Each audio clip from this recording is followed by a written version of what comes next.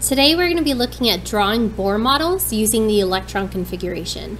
So we do need to remember that Bohr models are not accurate. We know that electron, electrons do not exist in rings around a nucleus. We know that they are in orbitals like the s, p, and d and f orbital using the electron cloud model, but it is still a really useful model. And so because it is a useful model, we're going to learn how to draw Bohr models using an electron configuration. So the first thing that we need to recognize with Bohr models is that we represent represent energy levels as rings around the nucleus. Okay, so we're representing energy levels as rings around the nucleus. Now, during electron configuration, this was the, the big number in front. So the one, the two, the three, the four. And so we're just going to say, all right, that entire energy level with all of those orbitals is represented by one singular ring around a nucleus in this model. So let's do an example. Oxygen. Okay, so the electron configuration of oxygen um, we know it has eight electrons, and so our electron configuration is 1s2, 2s2, 2p4. And so we're going to use this to draw our Bohr models. You may have learned previously the 288 model where 2 on the first ring, 8 on the second ring, 8 on the third. And while that does have some basis in truth, it's not the entire truth. And so we really want to look at the electron configuration because that will actually tell us how many electrons we're going to represent as dots on our Bohr model. So the first thing I'm going to do is draw a nucleus. And so I'm just going to represent the nucleus with a, smirk, a, um, a smirgle, a circle in the middle. And inside of the circle, I'm going to write how many protons there are. Now, I'm not going to write neutrons because we don't know the mass number. We don't know what isotope it is. So all I'm going to do is write how many protons there are because all oxygen um, atoms will have eight protons. So I'm going to write 8p in the middle to rep 8p plus to represent our protons, okay? Now looking at this electron configuration, the energy levels tell us how many rings to draw. So this one is the first energy level. The two and the two, even though they're different orbitals, they're on the same energy level. So this tells me that I have two energy levels to draw. So one, two and I'm just going to draw this as rings around my nucleus. Now the next question is, well, how many electrons am I going to put on those rings? Well, this also comes from the electron configuration. 1s2. The 2 in the exponent position tells us that there are two electrons.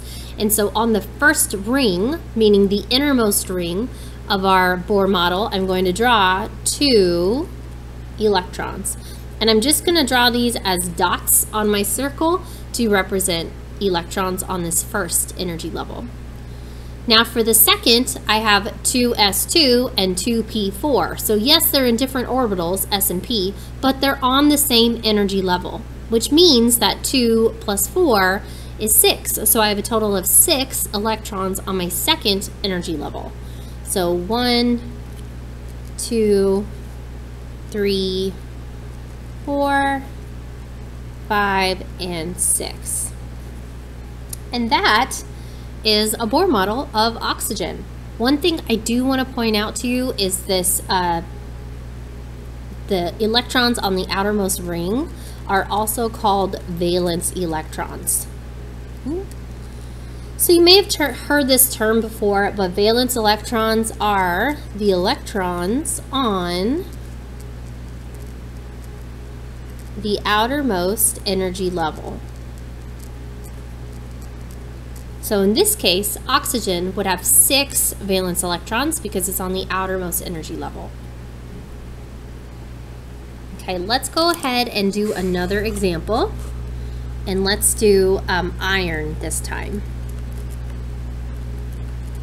Okay, iron we know is in that D block, so it does have um, an electron configuration with a d orbital. So if I write out the electron configuration, it's 1s2, 2s2, 2p6, 3s2, 3p6, 4s2, and then 3d6. Okay, so I'm going to go ahead and now that I've got my electron configuration, I'm going to start drawing my Bohr model with putting the um, protons in the center. So iron has an atomic number of 26, which means it has 26 protons. So in the center, I'm going to draw a small circle that rep is representing my nucleus, 26 protons.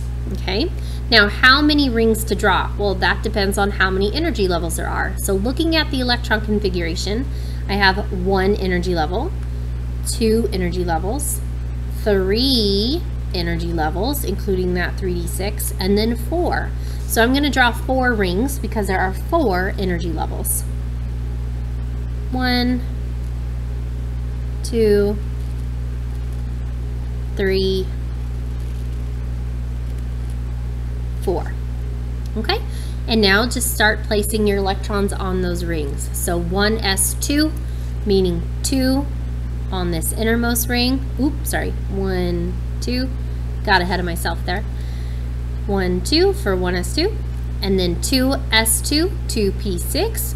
That's a total of 8 electrons on the second energy level, 2 from the s orbital, 6 from the p orbital.